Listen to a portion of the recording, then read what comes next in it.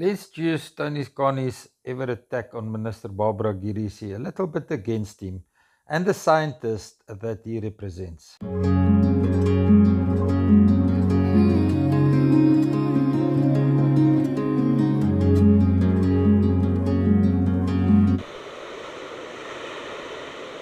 Good morning, good morning from a beautiful, beautiful Ingwe Beach St. Lucia Estuary, iSimangaliso Wetland Park, South Africa. What a privilege to be here. What a privilege to be able to share this with you guys. This channel can now only go from strength to strength. Yesterday afternoon when Pardetten, oh not, it was yesterday morning still. Let's just find focus here. When Pardette and myself were on the beach, the tide was quite high and the ocean was rough. Just look how peaceful and calm this ocean is. Beautiful the sunrise and the wave dancing in unison with each other.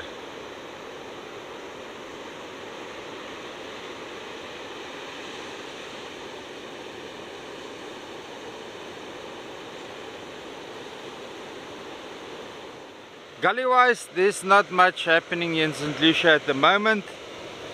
The beaches are long and flat. So I suggest you guys consider low tide fishing north of the main beach. 40 minutes north of main beach you should find walker marker number four. Or if you can reach the slides that would be your preferred low tide fishing while the beaches are long and flat like this.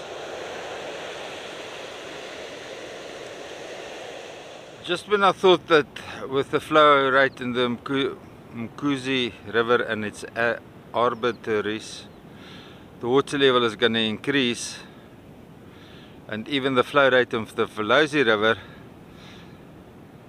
I see it cannot even pretty much sustain the current water levels here at the estuary mouth. This is just just south of the boardwalk entrance on St. Lucia Estuary Beach.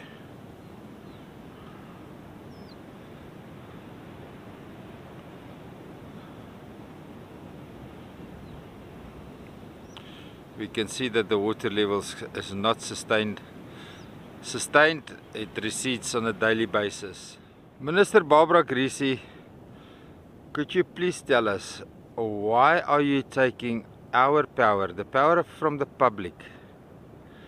The very very little bit of of power that we've got under the flawed NEMA Act why are you taking it away and giving it to the scrupulous scientists that care nothing about us here on the ground? You making them little gods and this is why in the dark ages scientists was burned at the stake because they think they're little gods.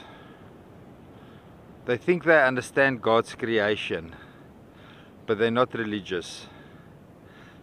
To understand God's creation, you have to be religious. And God didn't give us dominion over His creation so that we can be complacent and lazy and don't mitigate human impact. That's not why God gave us dominion. I please ask you to back down from this bill that you are proposing, taking our power to object to the scientists' scrupulous, money-hungry power. That objection you're taking away from us, I please, I please, from the bottom of my heart, stop doing that. Stop giving science godly powers. They don't deserve it. They've proven that they are scrupulous, they think they're all powerful, and they're not applying their God given talent for the betterment of humanity and the planet. They got power hungry, they got greedy, and they sit in air conditioned offices and make assumptions. Please don't take our power to object to that away from us.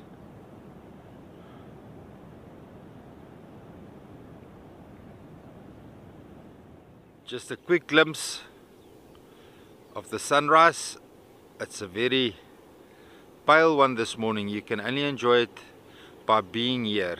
Photography cannot do it justice whatsoever. It's still beautiful. I'm still humbled. But I cannot transfer the ambience into your onto your computer or TV screens. It's not possible.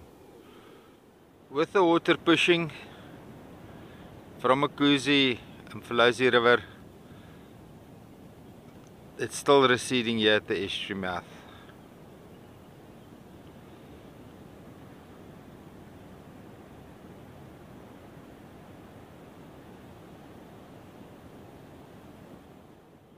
One thing I must admire about this SX60H is, is all the settings that you can go through and find the color combination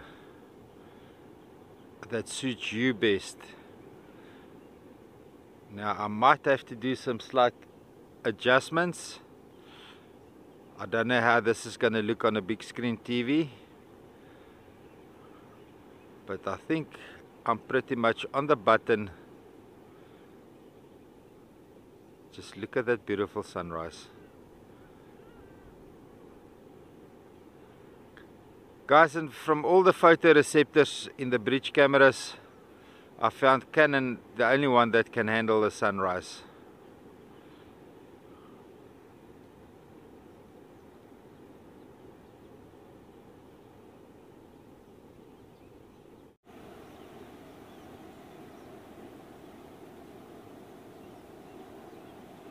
I had to reduce the camera settings.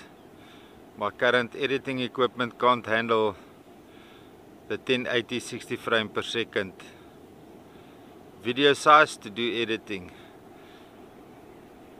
So um, I'm back on 1080p 30 frames per second.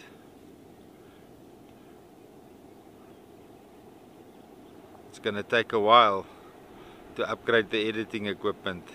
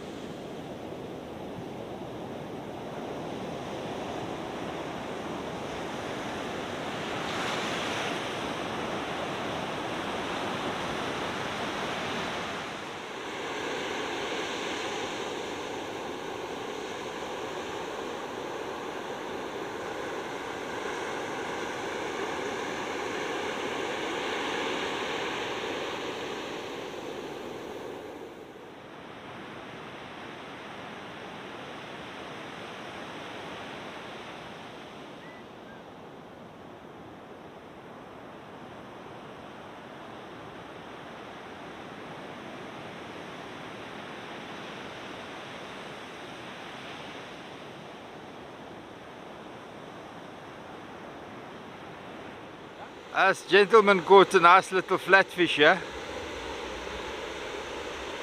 We didn't even see it happening.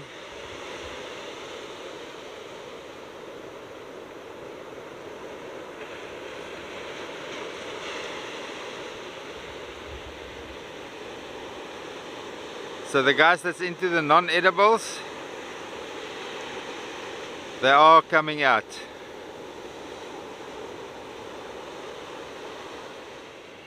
Wave Dancer and Ocean Combustion, two big boats launching today.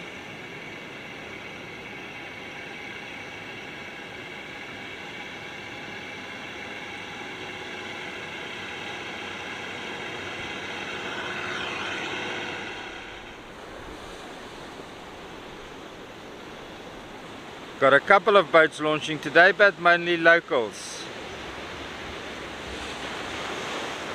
Guys, those that don't want to use the 4x4 on the beach, the NSRI tracker is available to rent to bring you from the parking area to the launch site and to take you back from the launch site to the parking Just area. Just a quick look at the graveyard. Not a place where you want to be today. There's some ugly, ugly ones. They're not very big, but you can see on their formation they're close on each other and they are powerful. So you can get a thumping if you land in the graveyard today. Or shall we change the name to the blender? What do you guys think? Graveyard or blender? Ooh, we've got a huge increase in water level and infrastructure damage happening Ooh, Minister, when are you going to attend the meeting so that you can see what is going on in St. Lucia? Somehow your advisory committee made you complacent to the call and the plight of St. Lucia. What's happening, Minister Barbara? No, please. How much water is enough?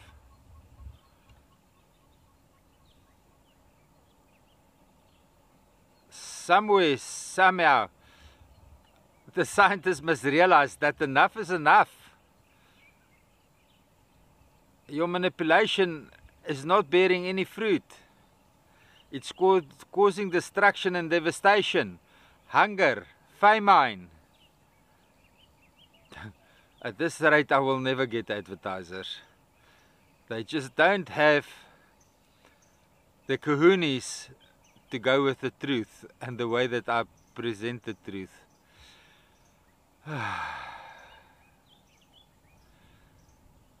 so then I'll resort to begging.